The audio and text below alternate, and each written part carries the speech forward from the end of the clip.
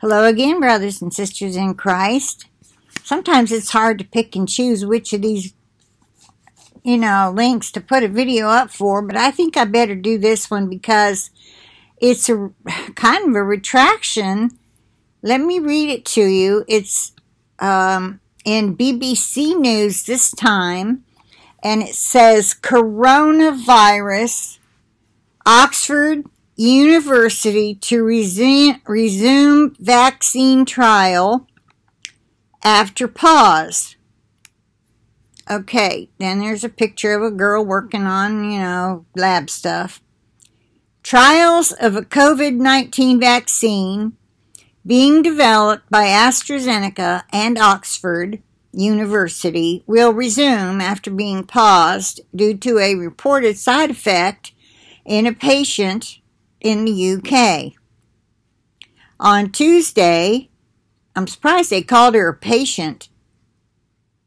Reported side effect in a, should say, trial volunteer. Anyway, moving on.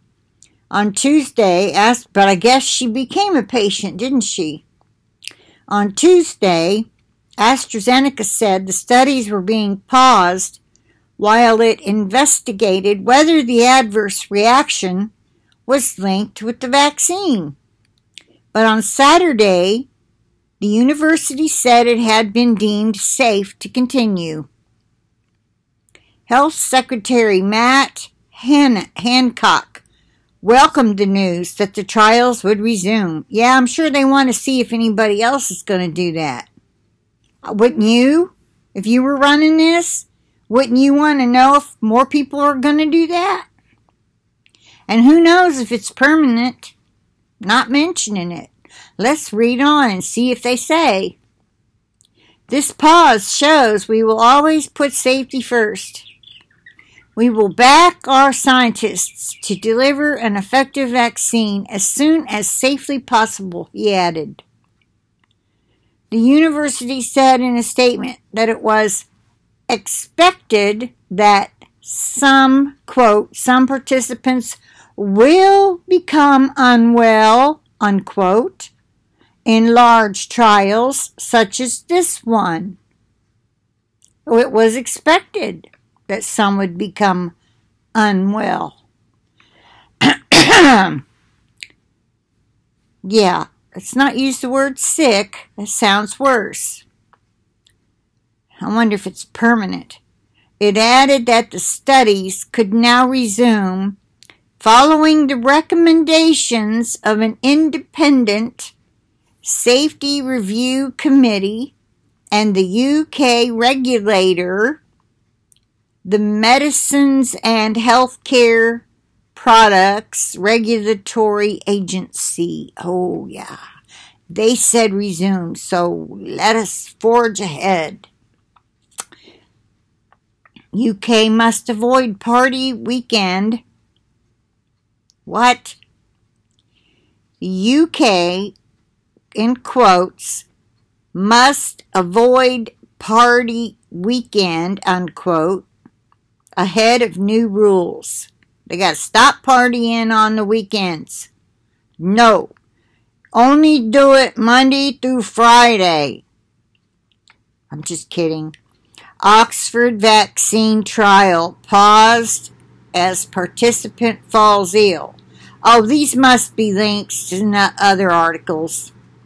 Because then, it says Oxford coronavirus vaccine triggers immune response. Now that's what they want. It would not disclose information about the patient's illness for confidentiality reasons. Well, didn't they tell us she had a severe spinal inflammation? Oh well, moving on. It would not disclose the information about the patient's illness for confidentiality reasons, but the New York Times reported that a volunteer in the UK trial had been diagnosed with transverse myelitis. an inflammatory syndrome that affects the spinal cord and can be caused by viral infections. Hmm. I'm not familiar with transverse myelitis, but nobody that doesn't study it knows what myalgic encephalomyelitis is, also caused by vaccinations. The World Health Organization, or WHO, says nearly 180 vaccine candidates are being tested around the world, but none has yet completed clinical trials. Hopes have been high that the vaccine might be one of the first to come on the market following successful phase 1 and 2 testing. Its move to phase 3 testing in recent weeks has involved some 30,000 participants in the US as well as in the UK, Brazil, and South Africa.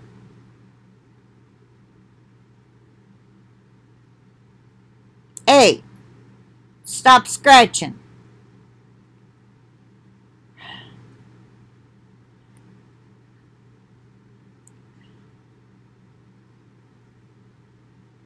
Okay, let's see.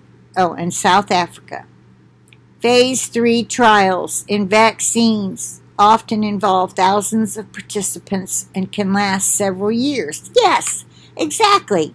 Several years.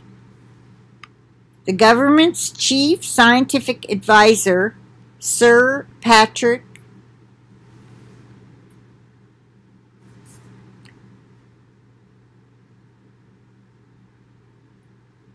Hold on. Valiance, I think, or Valance, I, I'm not sure, told the Downing Street Press Conference on Wednesday what had happened in the Oxford trial was not unusual. Hmm. Risk of, now this is a subtitle, risk of losing control. The news comes after Professor Sir Mark Walport, a member of the government's scientific advisory group, SAGE, warned the UK was on the edge of losing control of the virus. Seriously? He told BBC Radio's Fours Today program.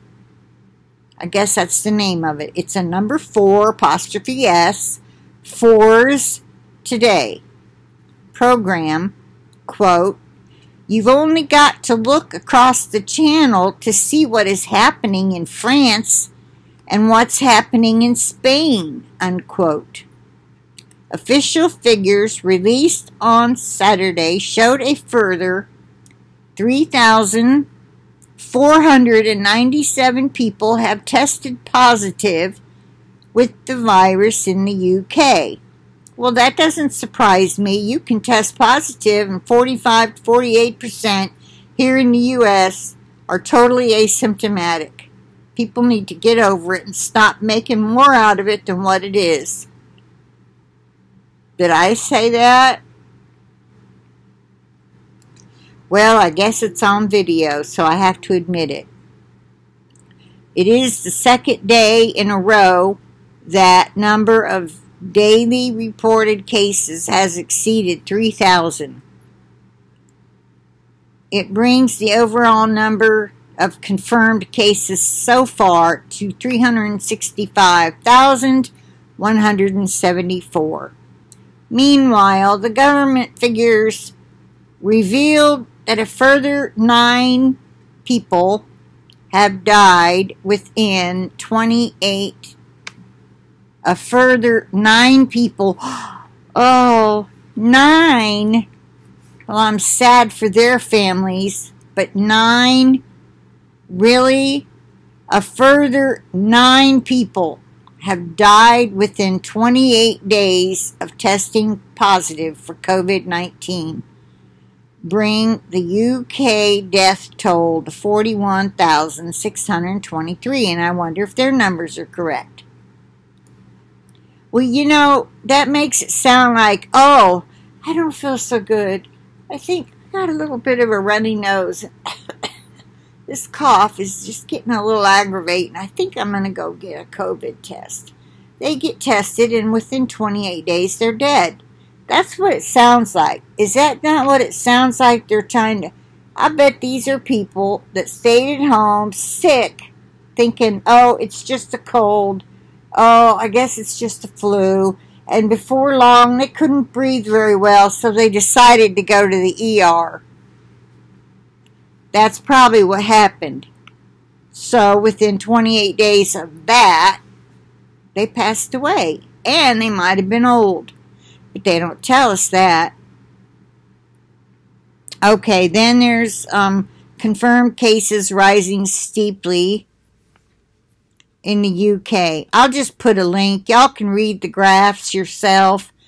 And then there's some other um, I guess you'd call it like a graph, and some more stuff to read. Okay, so I'm going to end it here and say let's all just, I don't know, stay in prayer that we don't catch it. And trust in the Lord with all our heart and lean not on our own understanding in all your ways, acknowledge him, and he will direct your paths. Let's see, that's Proverbs 3, 5, and 6, I think. Proverbs 3.